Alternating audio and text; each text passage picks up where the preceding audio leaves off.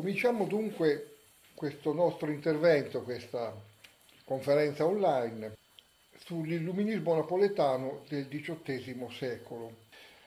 All'inizio del XVIII secolo il Regno delle Due Sicilie si trovava in una situazione ambigua. La sua struttura politica era un compromesso tra i resti del vecchio Stato feudale, ereditato dal Medioevo, ma aggiornato dalla Controriforma, e le primizie del nuovo Stato moderno avviato dal Rinascimento e dal giusnaturalismo protestante. Lungo l'intero XVIII secolo si stava realizzando quello stupefacente cambiamento di cultura e di mentalità che è stato così ben descritto dallo storico Paul Hazard nel suo celebre studio La crisi della coscienza europea.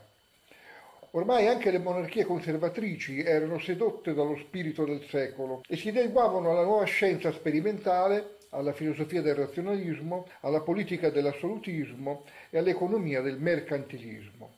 Pertanto anche la corte e il governo spagnoli e napoletani erano infranciosati, come si diceva allora, ossia seguivano le mode francesi, tentando di imitare il prestigioso modello politico del Re Sole. Per tutto il risultato avvenne il graduale passaggio del Regno delle Due Sicilie dallo stato controriformistico a quello assolutistico, favorito dal fermento intellettuale e politico dell'illuminismo, che ebbe uno dei suoi centri proprio a Napoli. Qui infatti una riforma antitradizionale e antiecclesiale del regno fu progettata e promossa da una potente lobby, oggi la chiameremo così, lobby composta da politici, giuristi, avvocati e docenti, tanto celebrati allora quanto dimenticati oggi. Le testimonianze contemporanee dimostrano che il re Carlo III di Borbone era un sovrano riformista, ma cauto verso le novità dell'epoca, e che sua moglie, la regina Maria Amalia, ne diffidava, tanto che entrambi erano occultamente criticati come bigotti da molti esponenti dell'illuminismo napoletano. Pur essendo un sovrano assoluto, Carlo non amava imporsi nella gestione governativa e si limitava a supervisionare le attività dei consigli di Stato. Per questo si circondò di valenti collaboratori ai quali concesse notevole libertà e autonomia. Purtroppo fra questi collaboratori Carlo scelse o tollerò segretari, ministri, magistrati, giuristi e docenti appartenenti o legati a quell'ambiente illuminista che costituì la ardente falange antiromana, come la chiamava Croce, ossia il partito degli intellettuali in soccorso dei governi, come l'ha chiamato Galasso. Questo partito degli intellettuali era formato da teologi, filosofi, giuristi ed economisti. Il partito illuminista si diffuse a partire dalla classe degli avvocati, dalle cattedre universitarie, dalle società letterarie, dalle istituzioni culturali come la Arcadia, l'Accademia Palatina, l'Accademia degli Speculatori e anche si diffuse a partire da lobby di amministratori e imprenditori come il Circolo degli Investiganti e il circolo diretto da Bartolomeo Intieri. Napoletane furono invece le persone, le personalità intellettuali più influenti del regno. Dapprima Pietro Giannone, Costantino Grimaldi, Gaetano Argento e Paolo Mattia Doria, avviarono il progetto modernizzante e irreligioso che poi fu perfezionato da Gian Vincenzo Gravina, Giuseppe Palmieri, Monsignor Celestino Galiani, quest'ultimo era cappellano maggiore di Napoli e arcivescovo di Taranto, da suo nipote, l'abate Ferdinando Galiani, da padre Antonio Genovesi, Melchiorre Delfico, Carlo Antonio Broggia e Giuseppe Orlandi. Costoro prepararono la successiva azione di epigoni come padre Francesco Longano, Gaetano Filangeri, Giuseppe Galanti e Francesco Pagano. La figura più strana e inquietante fu ovviamente quella di Raimondo di Sangro, principe di San Severo, stratega militare, chimico e alchimista e soprattutto gran maestro della massoneria napoletana. Va notato che questi ambienti furono abili nell'usare non solo le sottigliezze del diritto e le trame della politica, ma anche i mezzi propagandistici dell'epoca ritenuti utili per diffondere eh, la nuova sensibilità illuminata. Questi ambienti, ad esempio, favorirono il nascente giornalismo, la stampa eh, anticlericale, la satira pure anticlericale, la letteratura riformatrice di carattere moralistico e anche il teatro. Per esempio Mario Pagano scrisse non solo trattati, ma anche commedie teatrali. Questi intellettuali si abbeverarono a fonti straniere e avvelenate. Nel campo scientifico essi applicavano la riforma metodologica progettata in Inghilterra da Francis Bacon, Francesco Bacone, e in Italia da Galileo Galilei. Nel campo filosofico il loro punto di riferimento era la riforma del sapere, avviata in Francia da Cartesio e soprattutto dai suoi epigoni sensisti come Gassendi o empiristi come Locke. Nel campo religioso era la riforma della teologia avviata dalla corrente protestante del deismo, la loro fonte, soprattutto il deismo inglese di Collins e Toland. Nel campo giuridico era la riforma del diritto avviata, da, avviata in Olanda da giusnaturalismo scettico di Grozio, Altusio e Pufendorf nel campo politico il modello da imitare era lo status assoluto e accentratore di Luigi XIV, re di Francia, il Re Sole. Come si vede, questa pretesa scuola napoletana del XVIII secolo ebbe origini in realtà nordiche, come fonti perlomeno, cioè olandesi, inglesi e soprattutto francesi. Queste fonti straniere furono diffuse nel regno napoletano fin dalla fine del 1600, ad esempio da filosofi giuristi come Francesco d'Andrea e Giuseppe Valletta. Bisogna aggiungere che la corrente moderata di questo partito godette della benevolenza, di una certa benevolenza anche a Roma, da parte del Papa riformatore Benedetto XIV. Influenzati dall'ottimistico clima dell'epoca settecentesca, gli intellettuali illuministi napoletani avevano grandi ambizioni.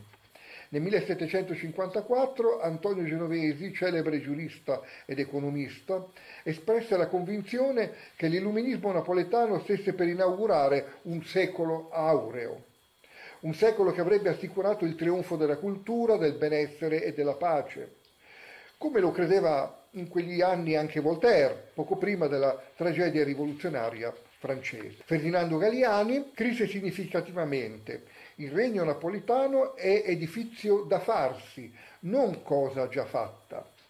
E quindi Galiani anticipò la famosa frase di Massimo d'Azeglio sul popolo italiano ancora tutto da fare, dopo l'unificazione risorgimentale. Solo che D'Azeglio pretendeva di rieducare il popolo con la cultura idealistica e liberale, Galiani invece con il razionalismo cartesiano, lo scientismo newtoniano e la politica machiavellica. Ovviamente non tutti gli intellettuali importanti di quell'epoca furono illuminati. Ad esempio i dotti teologi domenicani Tommaso Ferrari e Tommaso Maria Mamacchi, il popolare vescovo letterato Sant'Alfonso Maria de Liguori, e il prestigioso giurista Domenico Aulisio si impegnarono nel difendere la rivelazione biblica, le tradizioni cristiane e il diritto ecclesiastico dalla critica dissolutrice tentata dagli intellettuali illuministi. Una figura a parte, non classificabile, fu quella di Gian Battista Vico, non a caso il maggiore intellettuale meridionale dell'epoca, l'unico il cui insegnamento abbia superato l'usura del tempo e abbia ottenuto rinovanza internazionale, sebbene tardiva.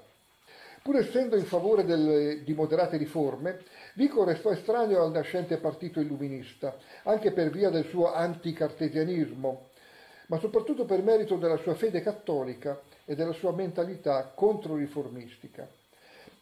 Alcuni suoi allievi invece scivolarono nella filosofia e nella politica illuministiche e alcuni discepoli, anche tardivi come Cuoco, parteciparono alle rivolte antiborboniche del 1799.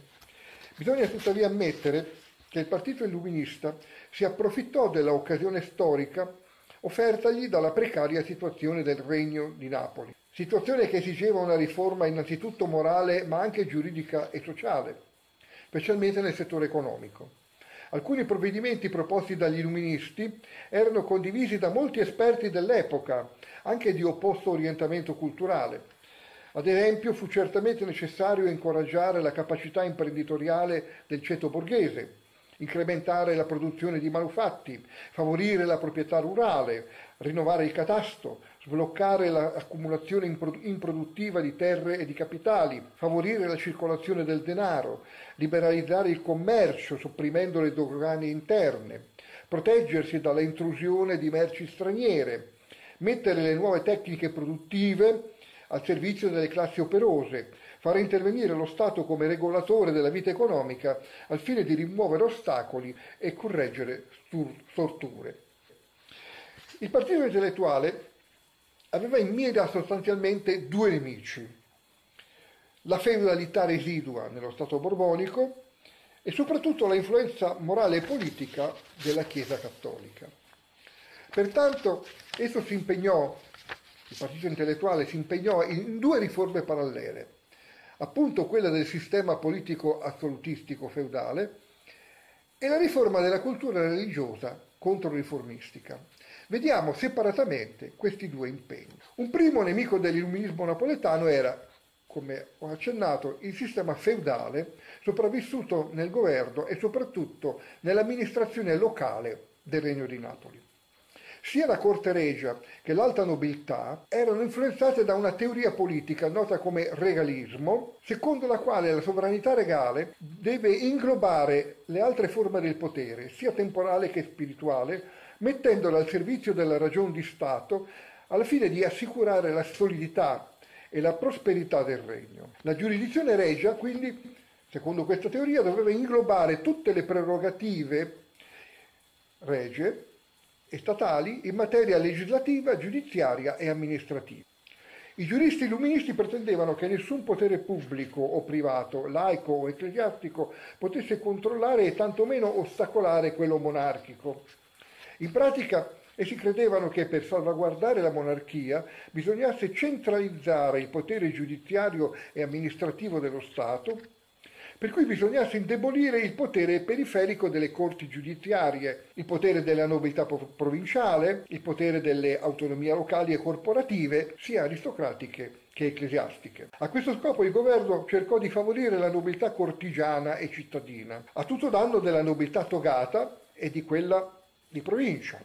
Pertanto il governo esautorò progressivamente gli incarichi, eh, esautorò degli incarichi amministrativi sia i baroni che i vescovi e gli abati, tranne ovviamente quelli asserviti al governo stesso. Ad esempio favorì la privatizzazione e la commercializzazione dei feudi. Si tentò cioè di trasformare la nobiltà baronale in una classe proprietaria e produttiva, inserita in un nuovo sistema commerciale chiuso. Come disse il funzionario regio padre Ferdinando Galiani, gli baroni saranno intesi il che vuol dire i baroni saranno ascoltati dal re, ma non avranno diritto di niente ordinare, molto meno avranno diritto di ordinare i vescovi e gli ecclesiastici. Tutto dovrà proporsi dagli ingegneri e poi risolversi e ordinarsi dal re. Queste riforme furono realizzate mediante cambiamenti parziali e graduali, ma decisivi, al fine di imporre un ordinamento giuridico generale uguale per tutti, abolendo esenzioni e privilegi, senza distinzioni di Stato e di ceto. Come diceva Pagano, bisogna correre con la fiaccola in mano della filosofia per entro le tenebre del foro.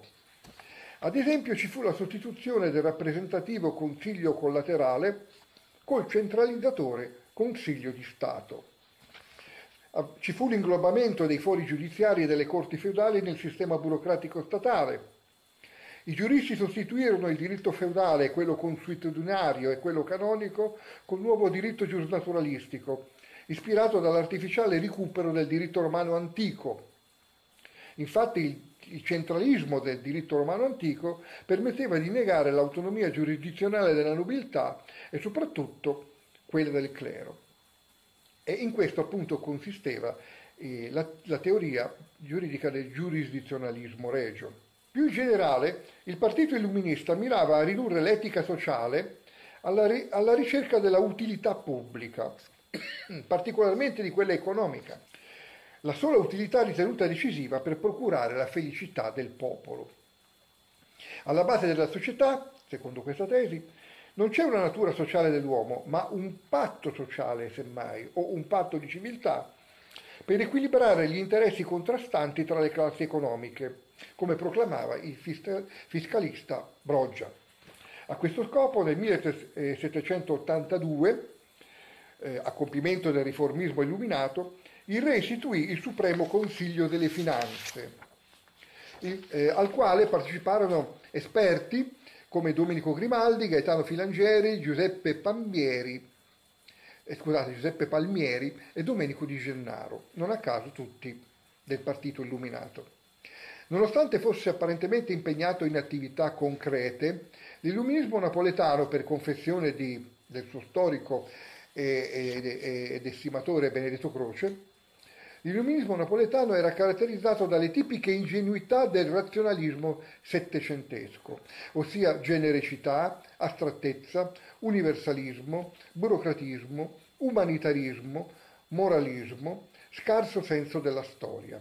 Ripeto, confessioni dello stesso Benedetto Croce. Fu anche questo a rendere il partito eh, intellettuale estraneo alla mentalità e alla sensibilità del popolo napoletano. Solo verso la fine dell'epopea illuminista, alcuni esponenti del partito intellettuale, come il padre Longano, ammisero che l'accentramento dello Stato stava favorendo una nuova forma di tirannia e che la crisi del feudalesimo stava favorendo una nuova classe di, fra virgolette, galantuomini, arricchiti e prepotenti, che invece di arginare privilegi, ingiustizie e soprusi, ne stavano producendo di più gravi, proprio a danno del popolo. Bisogna notare che il riformismo illuminista non era genu- genuinamente napoletano, come abbiamo visto, ma imitava il modello statale francese, quello giuridico olandese, quello economico inglese e quello culturale anglo-francese. E questo non solo nella teoria, ma anche nella pratica, almeno iniziale. Infatti i promotori di queste riforme di carattere illuministico venivano dalla Spagna e dalla Toscana. Infatti spagnoli ne furono i preparatori, il conte di San Sant'Esteban e il marchese di Monte Alegre. E Toscano ne fu il principale esecutore, il potente segretario ministro del re Bernardo Tanucci, la cui abilità e furbizia, in campo sia politico che diplomatico, è paragonabile a quella del Cavour. Il partito intellettuale faceva finta di voler imitare solo l'influenza politica, voler limitare solo l'influenza politica della Chiesa. In realtà ne voleva servire l'influenza morale anche, e perfino quella spirituale, per trasformare la religione cristiana cattolica da fattore di superstizione, come dicevano allora, e di arretratezza, a fattore di civiltà e di progresso. Per contrastare l'influenza morale e civile della Chiesa, il partito illuminista si impegnò in una lunga azione di insinuazioni, calunnie, complotti e soprusi contro il papato, la Santa Romana Inquisizione e particolarmente l'ordine dei Gesuiti. Nonostante molti di questi intellettuali fossero sacerdoti e anzi, nonostante alcuni di loro fossero stati allievi proprio dei collegi gesuitici, probabilmente i migliori del regno. Il motto illuminista era Tamquam Roma non esse, come se Roma non esistesse. La battaglia anticattolica fu aperta fin dal 1691 da Gian Vincenzo Gravina col suo libro Idra Mistica, ossia la corrotta disciplina morale. E questa battaglia fu continuata da molti scrittori come Niccolò Caravita, autore del libro Nullum Ius Pontificis, il regno neapolitano, che è del 1717. Il partito intellettuale spinse la corte borbonica a realizzare le seguenti riforme di carattere eh, ecclesiastico in realtà, cioè che entravano nel campo ecclesiastico imporre la nomina regia dei vescovi, ridurre i privilegi e le immunità ecclesiastiche, esautorare il foro ecclesiastico, abolire la decima e anzi tassare beni e rendite ecclesiali, abolire il tribunale inquisitorio del Santo Ufficio, abolire la Compagnia di Gesù, che avvenne nel 1767. Il sacerdote oratoriano Giovanni Andrea Serrano segretario dell'Accademia Napoletana, aveva chiesto la soppressione, l'esilio e la confisca dei beni gesuitici già nel 1758, cioè sei anni prima che lo facesse in Francia D'Alembert nel suo libello La destruction des Jésuites, che è del 1764. Perfino i concordati con la Santa Sede mirarono principalmente a ridurre l'influenza ecclesiastica nella politica interna e assicurare allo Stato un pieno controllo sulla Chiesa. Pertanto la monarchia mantenne l'incarico di favorire la religione cristiana e di proteggere la Chiesa cattolica, come stabilivano i concordati, ma in cambio pretese di servirsene, servirsi della Chiesa cattolica come strumento di dominio politico assumendo non solo i settori di competenza mista tra il foro spirituale e quello temporale, ma anche alcuni settori religiosi di competenza di esclusivamente, esclusivamente ecclesiastica. Si trattava di una forma mitigata di cesaropapismo che tendeva ad asservire la gerarchia cattolica ostacolandone la libertà di missione. L'abate Antonio Genovesi è forse la, famosa, la più famosa figura di questo ambiente del partito intellettuale illuministico. Genovesi, pur impegnato nel campo politico e soprattutto economico, eh, in un certo senso fu l'inventore eh, o l'ispiratore del, di quella che noi oggi chiamiamo economia politica, fin dall'inizio Genovesi si prefissò di diffondere una religione morale liberata dal ricamo che vi aveva imposto l'impostura dei preti e l'ignoranza dei popoli. È una frase sua. Eh? Genovesi partì dal presupposto che, anche questa è una frase sua, gli uomini possono salvarsi senza alcuna cognizione di Gesù Cristo, ad opera della sola legge di natura, purché la osservino con onestà. Una posizione che, come sapete, ha fatto molta fortuna. La protezione del giurista Fraggianni e soprattutto del vescovo Celestino Galiani evitarono al noto abate genovesi condanne da parte di, eh, del Sant'Uffizio e di Roma che altrimenti sarebbero state inevitabili. Più radicale del Genovesi però fu Pietro Giannone. Nella sua celebre opera Il Triregno del 1734, Giannone tentò di secolarizzare la divina rivelazione diffondendo una lettura storicizzata e razionalistica delle sacre scritture, eh, anche qui sull'onda di certe tesi olandesi, tipo eh, Spinoza, o inglesi. Alla vera religione cristiana Giannone oppose una vaga religiosità naturale, ossia ragionevole, moralistica e tollerante, che poteva essere facilmente asservita al potere politico dominante. Alla cultura teologica controriformistica, Giannone oppose una cultura scientifica e razionalistica, che poteva diventare strumento di giustificazione e di propaganda in favore della ragion di Stato. Alla morale cristiana rivelata, Giannone oppose una vaga moralità naturale, ridotta alla mera solidarietà umana e alla promozione dei diritti dei più deboli. E anche questa è una tesi che ha avuto un notevole successo. Insomma, la Chiesa perdeva il diritto di intromettersi nel dibattito, non solo nel dibattito politico, ma anche in quello filosofico e scientifico. La Chiesa doveva solo ritirarsi nei templi per tornare alla originaria semplicità e riservatezza evangelica. Qui si vede molto evidentemente l'influenza del protestantesimo liberale sul, su questi eh, intellettuali illuministi.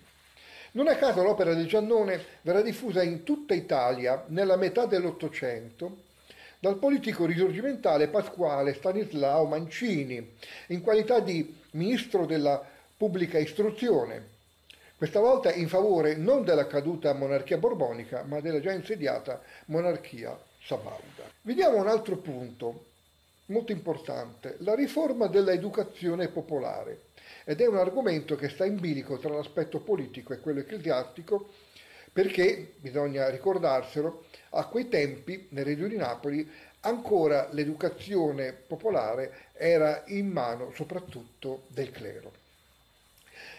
Quindi il partito degli intellettuali sperava di rieducare ed emancipare questo popolo, riformandolo in base a una religione naturale, una filosofia razionale, una morale civile, un diritto egualitario e una politica assistenzialistica, tutto elaborato a tavolino dai pedagoghi di Stato.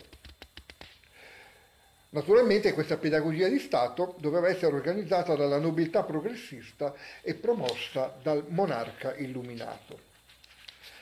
Essendo convinti che ogni male provenga dalla ignoranza e dalla povertà, una parte una istruzione culturale e civile fondata su una pretesa cultura italica di matrice greco-romana napoletana, però purificata dal contributo ecclesiastico, e dall'altro un miglioramento delle condizioni economiche avviato dal mercantilismo.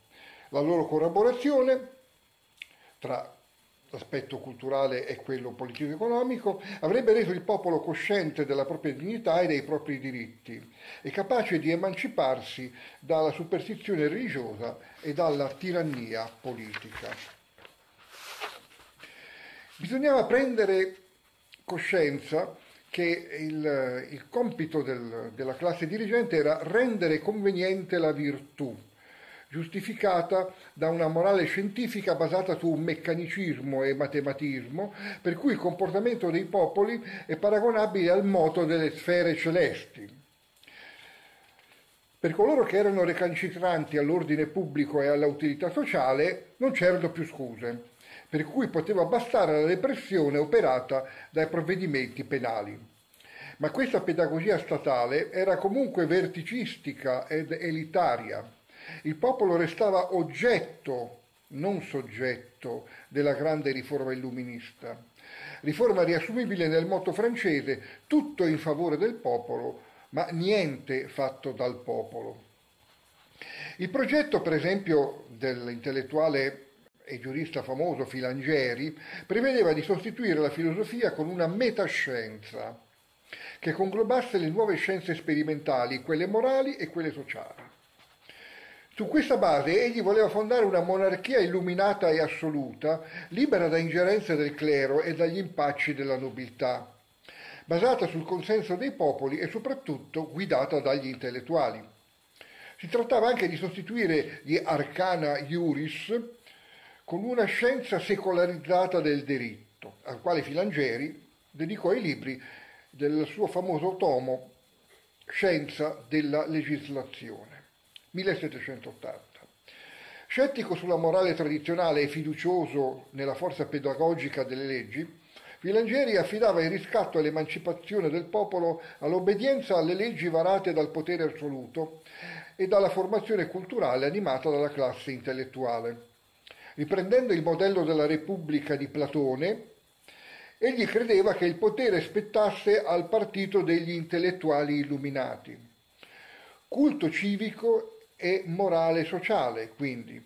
La virtù si sostituiva alla ragion di Stato. Le idee dei filangeri furono poi approvate da illuministi come l'americano Benjamin Franklin e soprattutto dal circolo milanese attorno alla rivista Il Caffè. In realtà, veniamo qui a un aspetto più critico, in realtà gli intellettuali illuministi che parlavano così tanto del popolo, avevano un terzo nemico, oltre alla gerarchia ecclesiastica e alla nobiltà, un nemico non, apparent- non apertamente dichiarato, però sottinteso. E questo nemico era proprio il popolo napoletano, così come realmente esisteva e viveva al loro tempo. Negli scritti e discorsi del partito illuminato emergono pesanti giudizi sul popolo, visto come vittima della superstizione e della tirannia, certamente, ma proprio per questo considerato debole, ignorante, credulone, immorale, insomma, barbaro. Ad esempio, l'economista Galanti riteneva che il popolo napoletano fosse superficiale, vanesio, ignorante, superstizioso. Genovesi riteneva che la plebe rurale fosse generalmente priva di sensibilità morale e anche di interessi spirituali, tanto che paragonava questa plebe napoletana alle tribù selvatiche dei boscimani e degli ottentotti, da non molto tempo scoperti dalle esplorazioni geografiche. Tutt'oggi alcuni studiosi dell'illuminismo napoletano, come Giulio De Martino per esempio, osano paragonare la situazione del popolo minuto settecentesco nel napoletano, alla situazione delle attuali favelas brasiliane. Non meraviglia quindi che nel 1787 l'economista marchese Giuseppe Palmieri proponesse al Consiglio del Regno una strana operazione riformatrice e rieducatrice. Per esempio quella di redistribuire la plebe napoletana nella penisola, redistribuirla geograficamente in base a criteri di spazio, criteri geografici, utili per favorire lo sviluppo economico delle plebi stesse. Per fortuna questa proposta fu del tutto elusa. Gli illuministi più estremisti speravano che col tempo questo popolo così ignorante e debole e superstizioso avrebbe ripudiato la tutela del clero e avrebbe favorito il cambiamento di regime. Per alcuni era un cambiamento di regime all'interno della monarchia, ma poi per altri si prospettò un cambiamento di regime dalla monarchia alla repubblica. Le vicende note della Repubblica Napoletana del 1799 dimostreranno poi quanto erano del tutto infondate, illusorie queste speranze del partito illuminato. Facendo un bilancio dell'esperimento illuminista e giacobino di fine eh, secolo, di fine Settecento, lo storico progressista Giulio De Martino conclude testualmente L'ideale repubblicano, calato nella realtà attraverso la pur generosa eloquenza neoclassica e la assolutizzazione antistorica del modello della repubblica ideale, si è tradotto in un tragico fallimento. Ma per i protagonisti di quell'esperimento eh, illuminista, prima monarchico, poi giacobino, esperimento durato un secolo, l'intero Settecento, la colpa la colpa del fallimento era sempre e comunque attribuita al popolo arretrato e insensibile. Il giacobino Mario Pagano ne concluse che, frase sua, per la continua malvagità degli uomini e per la tirannia dei governi mi è odiosa la vita. Alla fine eh, il giacobino pagano fu accontentato perché i sanfedisti del 1799 lo impiccarono nella piazza del mercato a Napoli, in quanto uno dei cospiratori antimonarchici. Il giurista Francesco Lo Monaco, poco dopo, dichiarò, anche qui testuale, che gli italiani, degradati e snaturati dal peggiore e più esecrando dei culti, ovviamente quello cattolico, non sono stati più né uomini né cittadini. Constatando il fallimento delle rivolte carbonare di inizio eh, Ottocento, il, il povero Lo Monaco nel 1830 si suicidò. E ora vediamo quali furono le conseguenze dell'illuminismo nel regno napoletano. Le conseguenze buone, cioè le riforme che erano certamente opportune, le abbiamo già prima descritte. Il partito degli intellettuali napoletani svolse un ruolo che può essere paragonato a quello svolto in Francia eh, dapprima all'inizio del 1300 dai giuristi, i juriste di, di Re Filippo il Bello, e poi alla fine del Settecento invece fu svolto dai filosofi, i filosofi illuministi su Re Luigi XV di Francia. Infatti, sebbene in tempi e modi molto diversi, queste tre fazioni intellettuali prepararono la crisi o il crollo dei loro regni. Un giudizio così severo è ampiamente giustificato dalle conseguenze storiche delle riforme promosse dal partito degli illuminati napoletani. Dal punto di vista della riforma morale, l'impegno illuminista fu un mezzo fallimento. Lo stesso statista toscano Tanucci, il grande giurista e soprattutto governatore del regno, alla fine del suo ministero napoletano ammise deluso nel 1777. Ho servito 30 e più anni la vostra nazione, dice vostra perché lui era di origine toscana, come abbiamo visto. Ma il furto non ho potuto spegnerlo, non la contemplazione, non l'inerzia, non l'iniquità. Cosa vuol dire Tanucci dicendo non sono riuscito a spegnere la contemplazione? Eh, intendeva non sono riuscito a sopprimere la vita dei monasteri e per inerzia intendeva dire non sono riuscito a, a spegnere la ignavia del popolo napoletano, ancora dedito al culto, alle feste, eccetera, eccetera. A breve scadenza, le citate riforme di Carlo III di Borbone, diedero maggiore potere alla monarchia, certamente, o per dir meglio, diedero maggior potere alla nascente burocrazia statale e governativa. Però a lunga scadenza quelle stesse riforme contribuirono a isolare il re, a isolarlo non solo dalla nobiltà e dal clero che ostacolavano, ma anche da quel popolo che pretendevano di favorire, che queste riforme pretendevano di favorire. Perché proprio nobiltà e clero svolgevano il delicato ruolo di mediatori tra il re e il popolo. Ciò mise in, crisi, mise in crisi l'equilibrio di quell'ordinamento civile fondato sul patto sociale tra le classi che per secoli aveva costruito e stabilizzato il cosiddetto Ancien Regime, non solo ovviamente nel Regno delle Due Sicilie, ma in tutta Europa. Insomma, ne uscirono corrose le basi del regno, soprattutto le basi culturali e religiose. Del resto, se una monarchia agisce come se i suoi interessi fossero incompatibili con quelli della Chiesa, c'è il pericolo che il clero a sua volta agisca come se i suoi interessi fossero incompatibili con, incompatibili con quelli della monarchia. Se un re non riconosce più i diritti spirituali della Chiesa, c'è il pericolo che la Chiesa stessa e il popolo che ne dipende spiritualmente e moralmente, a loro volta non riconoscano più i diritti temporali del re. In tal modo si pongono pericolose premesse di un conflitto tra la corte da una parte e il clero dall'altra, dal quale possono avvantaggiarsi solo i nemici di entrambi. E questo era l'inghippo che avevano in mente le, eh, gli intellettuali più consci e più radicali dell'illuminismo europeo. Oggi sappiamo come andò a finire quella riforma rivoluzionaria eh, che dalla Francia passò poi in Portogallo, in Spagna e in Italia, in tutta Italia poi dopo.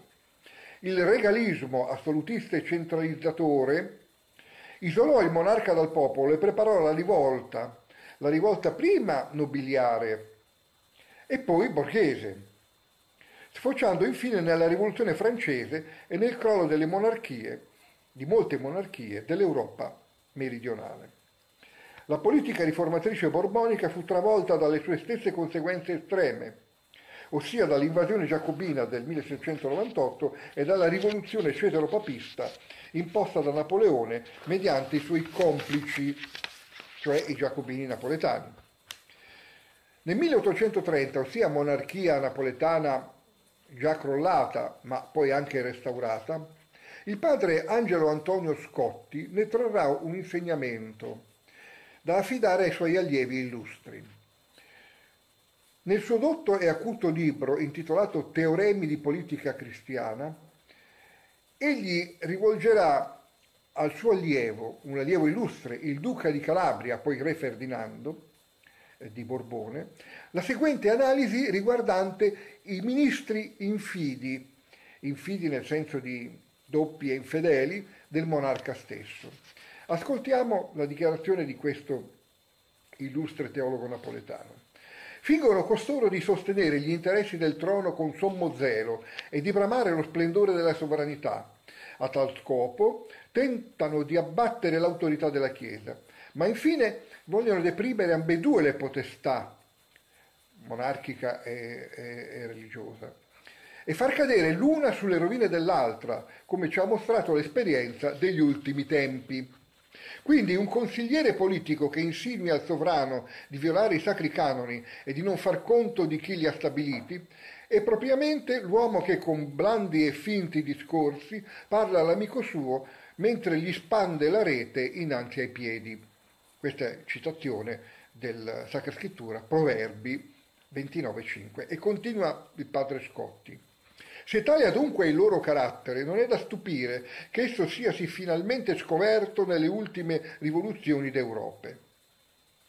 Tutti i cosiddetti regalisti, cioè quei canonisti per interesse che fingevano di fare la causa dei re, per nascondere sotto questa maschera l'odio contro la Chiesa e il desiderio di ingrandirsi con la adulazione, quando venne il tempo della tentazione, cioè quando i re si videro sbalzati dai loro troni, trovarono-si fieri repubblicani e la giustizia dei re medesimi dové poi condannarli ai giusti supplizi. E qui, eh, concludendo, il padre Scotti allude a quei giacobini, tra cui, se non ricordo male, due vescovi, che furono giustiziati eh, quando i sanfedisti trionfarono dopo la rivoluzione del 1799. Paradossalmente, gli storici meridionalisti antiborbonici esaltano il regno di eh, Carlo III, ma non tanto per i suoi pregi, quanto per i suoi difetti. Essi elogiano il re perché lo considerano come sovrano inconsciamente illuminato, ossia influenzato dal recente illuminismo e quindi lontano precursore di quella rivoluzione liberale e risorgimentale che nel 1861 abbatté definitivamente il regno delle due Sicilie. Come abbiamo visto, questo giudizio è vero solo in parte. Re Carlo III non poteva certo prevedere che pochi anni dopo la sua morte le idee che tollerava e le riforme che favoriva avrebbero prodotto il crollo dei regimi borbonici, il crollo dei regni borbonici da quello francese a quello spagnolo. Noi oggi lo sappiamo ed è sleale giudicare il passato col senno di poi, ma una fra le grandi utilità dello studio della storia consiste appunto nell'imparare dagli errori e dalle sconfitte del passato per costruire un, fa- un, futuro che almeno non ricada in questi errori e non ripeta le gravi o più gravi ancora conseguenze che abbiamo descritto nella nostra relazione. Grazie a tutti della pazienza con cui avete ascoltato e eh, speriamo di risentirci e soprattutto di rivederci in tempi migliori. Grazie a tutti.